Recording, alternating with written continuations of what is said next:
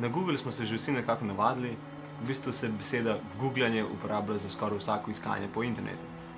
No, ampak kljub temu, da je Google že nekako prevladujoči iskalnik, so se nekateri odločili, da to ni za njih dovolj.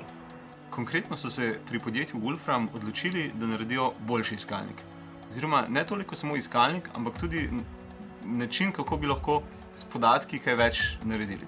To se pravi, neke vrste globoko rudarjenje po podatkih in njihovo obdelavo. Pa poglejmo, kaj vse lahko z njim počnemo. Ta iskalnik se imenuje Wolfram Alpha. Pri Wolframu so zaenkrat najbolj znani po svojem programu Matematika. Gre za program, ki ga uporabljajo inženirji, matematiki, fiziki uh, za v bistvu računanje in za obdelavo podatkov. Wolfram Alpha sprejme marsikatero sintakso iz matematike, zna računati kar nekaj matematičnih formul, enačb, zna recimo integrirati, odvajati. Pri tem računanju nam pove, poleg osnovnega računa, nam pokaže tudi grafe, tabele, zna nam tudi razviti vrsto. Pri določenih integralih pa nam tudi pove vsaj približno številsko rešitev.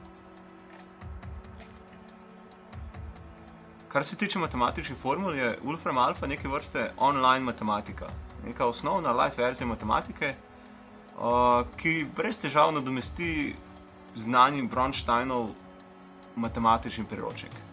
Za osnovne integrale, odvode in podobne reči je to čez glavo dovolj. No, elektroinženirji bodo zadovoljni recimo z obdelavo RLC vezi, sprav uh, vezi z uporom, tuljavo in kondenzatorjem, podamo mu lahko vse tri podatke, recimo ne vem, vzeli kilo ohm, pa je malo.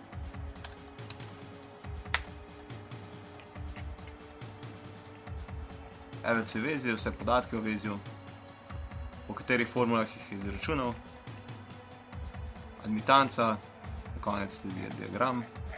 Marsi česa se še ne da naprej razviti oziroma poklikati, ampak preko stvari pričakujemo, da se bo tudi to zdalo. Seveda pa smo ga vprašali nekaj zelo bistvenih vprašanj. Kaj je bilo najprej? Kura ali jajce?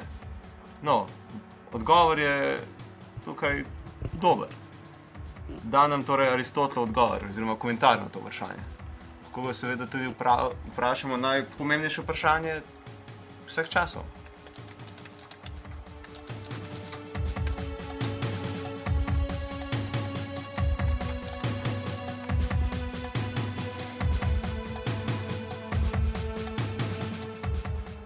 Odgovor je torej pravilen, hkrati nam pove, odkot je ta odgovor. No, seveda tudi sam Google nam, to, nam ta odgovor brez težav pove.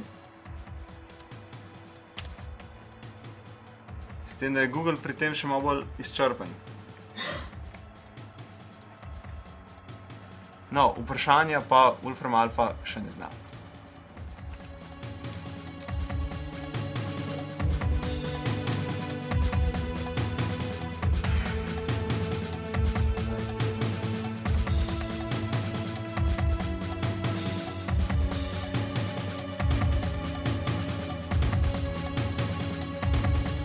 zna. Žal.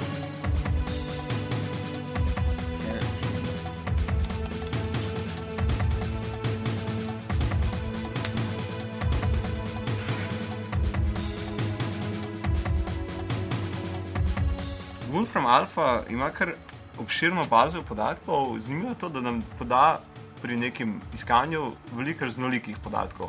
Pri Sloveniji dobimo seveda ime države, zastavo, lokacijo in tudi malce, malce semljivi zemljevid,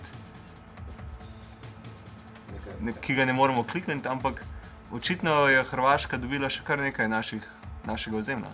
Kopno za morje, očitno. Ja? Kaj več o Wolfram Alfi pa vrvi monitor ali pa na našem blogu, oziroma kar najbrž oboje.